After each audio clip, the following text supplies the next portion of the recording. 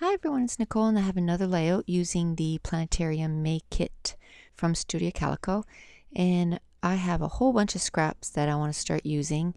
So I got a new stamp set a few hauls ago and it's called Trendy Triangles from My Favorite Things and I also got the die that goes with it. So I'm going to take out my VersaFine ink and I'm going to stamp a whole bunch of different triangles using different pattern papers and then I'm going to take my triangle die and my Cuttlebug and I'm going to cut them out and then I'm just going to also do some regular triangles with no stamping in the middle and just cut out some different pattern papers also. And the photo uh, I'm going to scrapbook today is a picture of my son and it was on our last vacation in Quebec.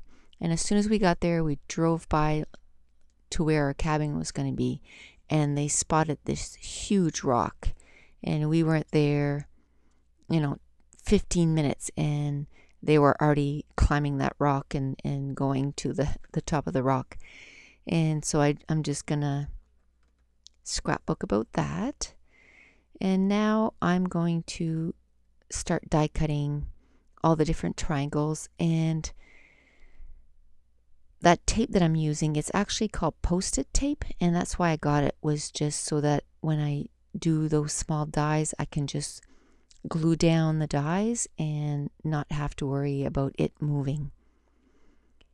So I actually once when I put the dies away, I actually put the tape with it and instead of you know throwing the tape out or you know trying to keep it for another piece, I just figured I would just keep it with it and Next time I use it, the tape will already be with that die. So there's three little dots on each one of those little triangles, so it makes it somewhat easy to line up the stamping with the die. And some of them are a little crooked, but I'm okay with that. I don't it doesn't bother me. So this is layout uh, 11 out of so it's the 11th layout using the planetarium kit and it took me an hour and about 30 minutes to complete. And it took me a few minutes to get all these triangles all you know cut out and but it wasn't too too bad. I'd say altogether it was probably 20 minutes or so before i got you know everything stamped out and then and then using the triangles. And then I wanted some that were just plain. So then I just took the rest of the pattern paper and and just cut a few out. And I have to say it doesn't I mean it doesn't use up a lot of papers because those triangles aren't that big. But it's it's a good way to, you know, use up some scraps. So now I'm done with that die cut or the dies and I'm going to put them away. And like I said, I put the post-it notes with it. So then it's totally with it and I don't have to worry about it next time. It'll just be there. So now I'm just going to choose which photo I'm going to scrapbook. And I'm going to take just, I thought at first I would use two, but then I decided to just use one. And it's of my son at the very top of the rock. And I knew I wanted to mat it in that chevron paper but it wasn't long enough. But then I figured that I would just cover the bottom anyway, so it didn't didn't bother me that it was the branding strip at the bottom. And then I'm looking for something else that I can mat this photo in. I'm going through all my scraps. I don't want to cut in into any new sheets. I just want to use up some scraps. I'm trying to figure out what else I could do with those stamps, but I don't end up using any more stamps on the layout. At first, I kind of do, I thought I was going to do like um, a border, and then real quick here, I'm going to change my mind and I'm going to make it so it's like a mountain, like a, um, a hill. So every I'm going to make a triangle with the triangles, I guess is what I'm trying to say. So I'm going to make three clusters. with the triangles. And I'm just trying to mix up the stamp ones with the regular ones just so that there is some kind of difference in between all the the triangles.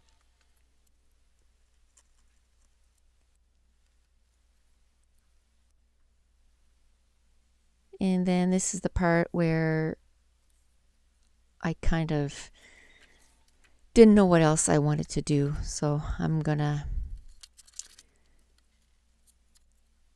take out this chevron and I'm going to cut it up, which I take all the time to do this and I don't end up using using it. It's going to stay there for a bit, but um, I did part of this, well, the whole layout, I did it in the morning after a night shift, but the first part, and I worked on it for 50 some minutes and then my brain was just was just mush. So I just went to bed and then the next morning I finished it and then kind of sitting on it for 24 hours, I guess. And when I came back, I didn't like that chevron at all, so I get rid of it almost right away when I start this the second day.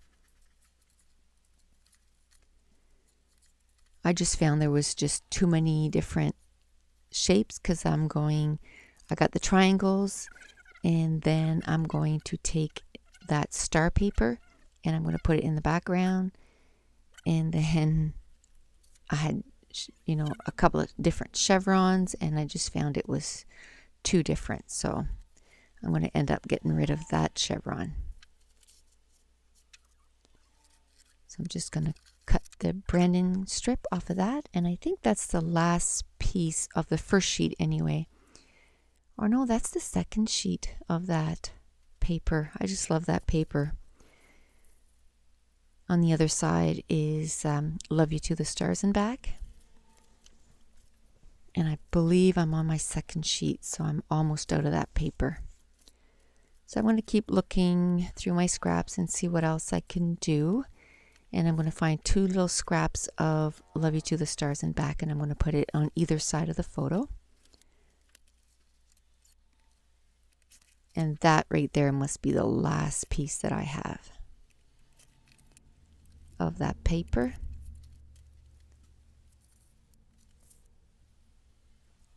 And I'm going to put that on either side. And then I'm going to look and I'm going to stare and I'm going to look at the paper and I'm looking at different um, washi tape, which I will add later on. And it just wasn't coming to me. So I figured, you know, just leave it, go to bed, come back another day. So this is layout 104 or scrapbooking process 104. So I'm hoping this afternoon, uh, probably not this afternoon. I have one, two more night shifts. This is Thursday. So I have an overtime shift tonight and I have tomorrow night and then I have Saturday off. So Saturday, I'll try to upload the video with the prize and the contest for reaching 100 scrapbooking process, processing videos and a thousand subbies. And everything came in so now I can do the video showing everything what's in the prize and then what the rules are going to be. So hopefully um, watch for that. I will try my hardest to upload that on Saturday so that'll be the 10th the 10th of August. And I'll have I'll leave it open for a month to make sure that everybody has a chance to to participate. And this is where I was just looking at the page and there was just nothing coming. I should have just cut this out. And also to let you know, I started a new Facebook group and it's Nicole Jones Nicole Jones 911 and I'm going to put it in the description. And if you want to see some still pictures, you can go to Two Peas in a Bucket or Studio Calico and go in the members gallery and look for Nicole Jones 911. And I post some still pictures there too. So, one of the things that was the challenge on my Facebook this month was to use your die cut machines, whether it is a manual die cut or your silhouette or your Cricut. So this is why I pulled out my dime or not diamond, triangle die cuts or dies and I want to use them. So now this is the next day and I have a little bit more of an idea of where I want to go with this page. So I'm going first of all I'm going to glue all those triangle triangles down because as they're moving around it makes it quite distracting and that's one of the things that I know for sure that's what I want. So I'm just going to glue them down. And I find as long as I don't commit to something, I can move stuff around forever and a day and it just doesn't get done. So if if I start committing and gluing, then the page comes together.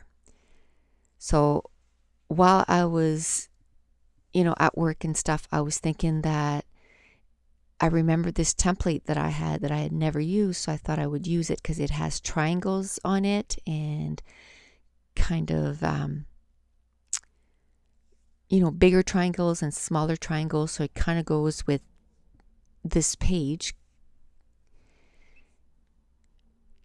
And I took up my navy ink, Hero Arts, and I just used a sponge and I just inked the page. And at this point, I only ha- I only inked it in two spots, but I'm I'm going to end up inking it in three spots. So I tried that chevron paper without cutting out the chevron and I didn't like it. Then I took out this circle paper and I liked it, but again, I was like, oh, it's introducing one more shape. So I'm going to end up taking that away. And I cut two pieces of that triangle yellow paper, and that worked out good because there's triangles on it. And I put at the top and the bottom of the page. And then I remembered those labels that we had got in this month's kit, and it was the navy color. So I took out a few of those and a little flag because usually, you know, when someone reaches the top of the mountain or, you know, they they stake a, a flag at the top of the mountain. So I thought I'd do that to represent that.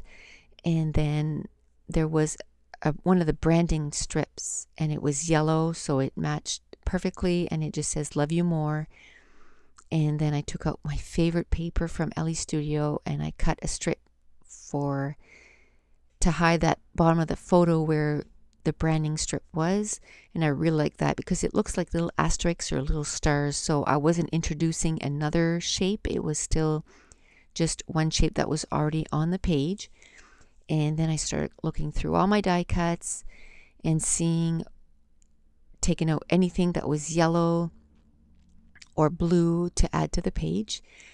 And I just took out a whole bunch of stuff and now I'm ready to glue everything down. And I'm going to glue all the layers. And I had kind of glued the picture down too low. So I lifted it and moved it up a bit. And now I'm going to glue down that strip and then I glued the whole thing to the to the page. And now I'm going to add some washi tape and it is a chevron one which was from um I believe that was in my mind's eye. It was uh, one of those collections that you can buy. And the other one is oh, which one is it?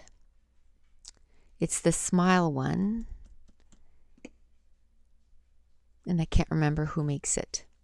But it came in a kit and I really loved it. And I actually had bought that washi tape myself too, but I, I decided to keep both rolls because I'm almost done one roll already. And now I'm going to start gluing down all the different layers. And I even took out a flare button that was in this month's kit and it just says cool.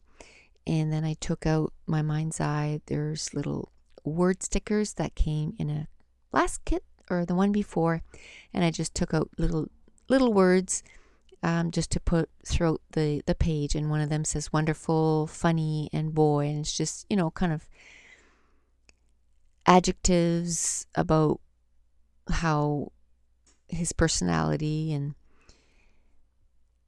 and then I took out that aqua twine that I love so much and I just balled it up and put it in three spots and I'm going to glue it down with my quick dry adhesive. And then I'm taking out those letters that I love so much from October Afternoon and they are called Honey and they're sticky keys. And now I'm looking for other letters that I might like. And I took out another one of October afternoon letters. And at first, I think I'm going to use the letters that came in this month's kit, but it didn't really coordinate that well. So I went for my American craft letters and I used the light blue. And then I'm going to spell mountain with, with my sticky keys. So the title of the page is just King of the Mountain. And I'm going to put it right there underneath the photo. And it kind of touches that bottom cluster. So then that becomes one cluster. And then I have two more clusters. And I, I kind of like to do that. I like to make it so that my title is part of a cluster. And then it just makes it so that there's three clusters usually on the page and not, you know, three or four or five. So now everything is the way I like it. So I'm going to add three colors of Glimmer Glaze, two different shades of blue and a shade of yellow. And now I'm going to show you some close-ups of the page and I'm going to do it in really slow motion so you can really see um, the different clusters. Um, I thought I'd try this out and see how this works out. Because the other way, it just kind of zooms by and it's really hard to see the different clusters. So now you're getting a good look at each cluster.